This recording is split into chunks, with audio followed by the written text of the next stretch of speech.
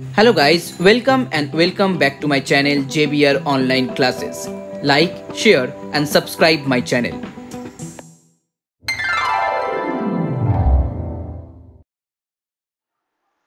So hello everyone, now today I'm going to start a new chapter that is share and dividends.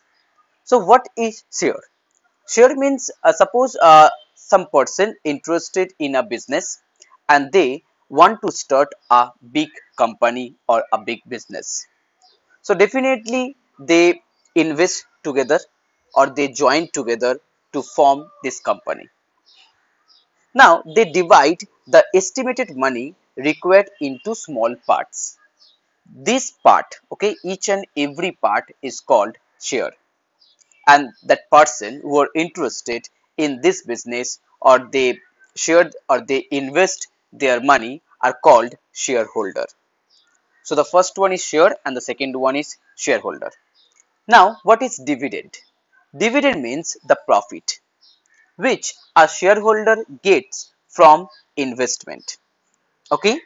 So here the dividend, dividend means the profit which a shareholder gets for his or her investment from the company.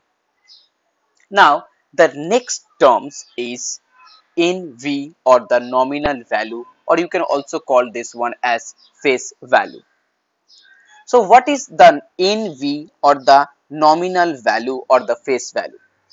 The original value of a share is called the nominal value or the face value. Okay, original value.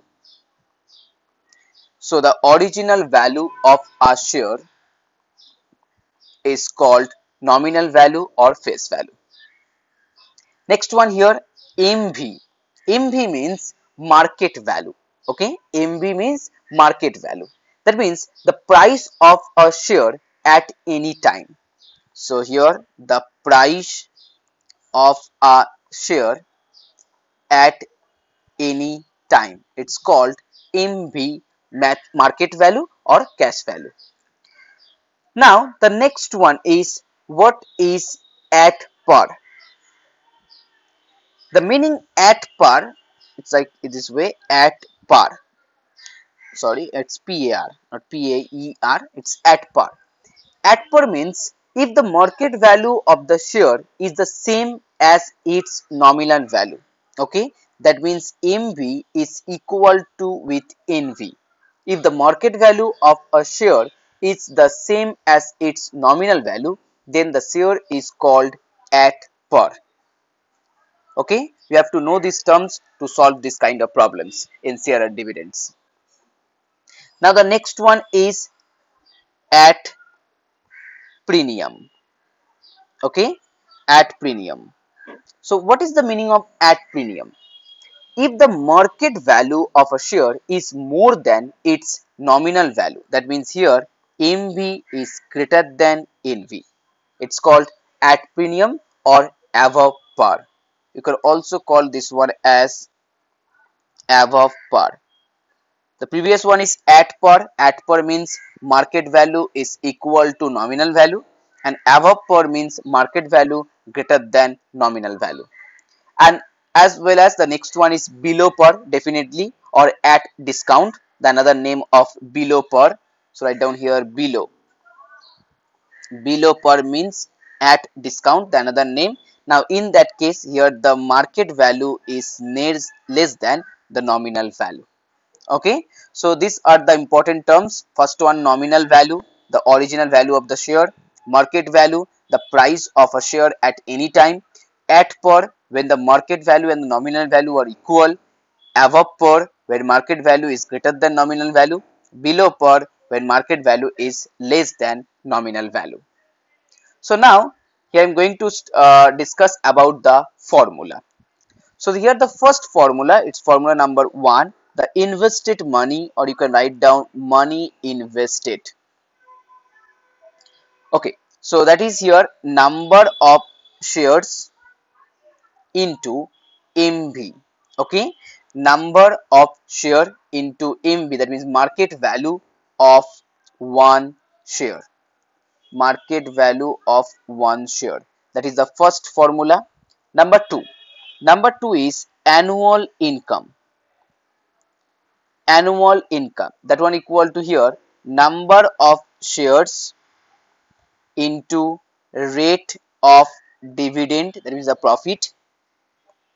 Rate of dividend. And then into face value or the nominal value. Okay face value or the nominal value or you can also call this one as printed value nominal value of one share. Number three return. Return uh, sorry it's a rate of return. Write down rate. Not only the return. So it's rate of return. So that one equal to here annual income divided by investment into 100 this one here percentage as the rate of return. And the last one last formula number of shares. That one equal to here. You have two formula. First one here investment divided by mv okay? Or the second one is annual income annual income divided by income on one share. Okay? Annual income divided by here write down income income on one share. So now you have total four formula to solve the exercise problems. So let's start with sum number one. That is chapter number three from the book of ML Aggarwal so here the first problem sum number one find the dividend received on 60 shares of rupees 20 each if 9% dividend is declared. So that means here value of one share that is rupees 20 okay value of one share. So definitely the value the value of 60 shares that one equal to 60 multiply with 20 and it's 1200 that is the value of 60 shares. Now here the rate. So rate of the dividend that is here the 9% the rate of dividend. So the total dividend total dividend equal to rupees 1200 into 9% that means rupees one 1200 percentage means 9 by 100 so that one equal to here rupees 108 as your answer now next one, sum number 2. Sum number 2 here, a company declares 8% dividend to the shareholder. Okay, 8% dividend. Remember that. If a man receive rupees 2840 as his dividend, find the nominal value. So here the formula for the nominal value as here uh, 2840 into or 2840 divided by the percentage the rate of dividend. So as here percentage means 8 percent so 8 percent means 8 by 100 so write down 8 here and 100 will be here. Clear? So now here if you divide this one you will get here rupees 35500 okay so here the nominal value of the share that is 35500 now next number 3.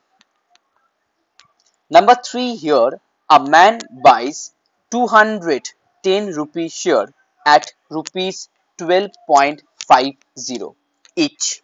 Okay so a man buys rupees 210 rupee share at rupees 12.50 each. So here the face value.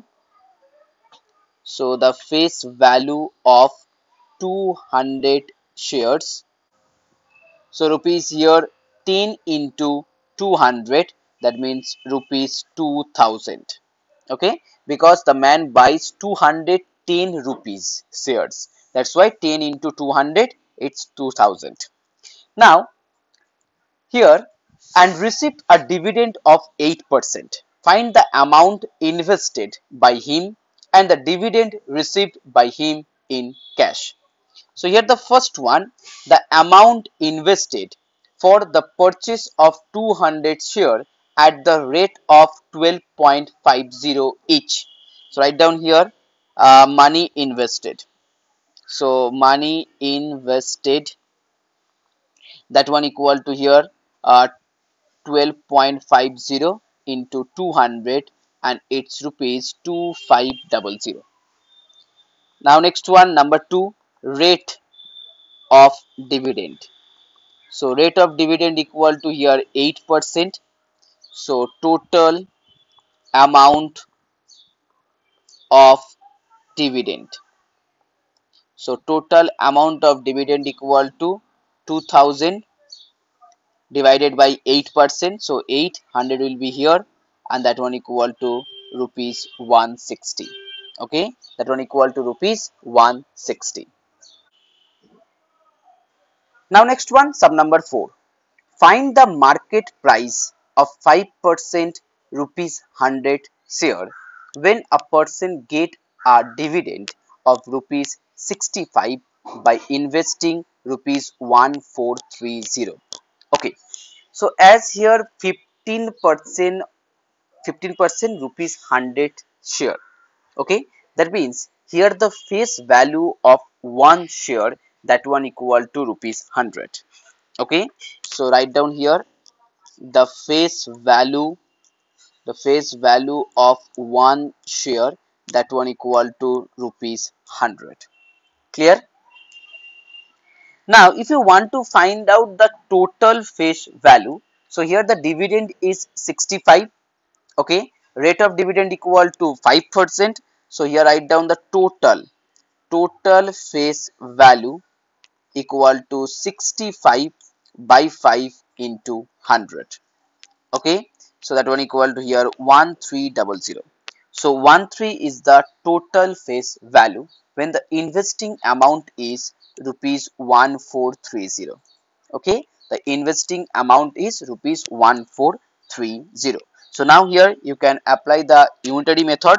So when the face value or if the face value is rupees 1300 then the market value is rupees 1430 okay? If the face value is rupees 1300 then the market value is rupees 1430 now if the face value is 1 then the market value is 1430 by 1300 and if the face value is 100 then the market value will be 1430 into 100 by 1300 so 13 cancel out it's 11 0 so that means here rupees 110 as your answer now next sum number 5 so sum number 5 here Salman buys rupees 50 shares of face value rupees 100 available at rupees 132.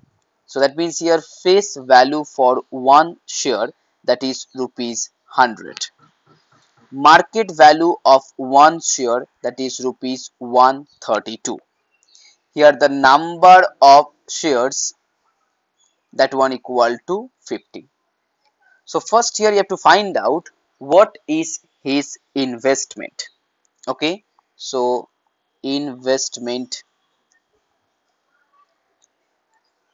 that one equal to now the formula for investment number of shares 50 into market value of one share that is 132 so rupees 6600 that is your first answer now number two if the dividend is 7.5% per annum, what will be the annual income? So write down here annual income. Annual income. So here the number of share that is 50 then into rate of dividend rate of dividend here 7.5 percent that means 7.5 by 100 into face value of one share that is 100 so 100 100 cancel out 50 into 7.5 that means rupees 375 that is your second answer. Now the third one if he wants to increase his annual income by rupees 150 how many extra shares should he buy? so now the annual income the new annual income you can write down this one as new annual income the previous was 375 increased by 150 so that one equal to rupees 525 okay so now the number of shares. So number of share that one equal to 5 to 5 divided by 7.5 okay and that one equal to rupees 70 so the previous number of share equal to 50 the new one equal to 70 so that means 70 minus 50 20 extra share to be increased okay? That means the number of share extra share to be increased that is number 20 that is your answer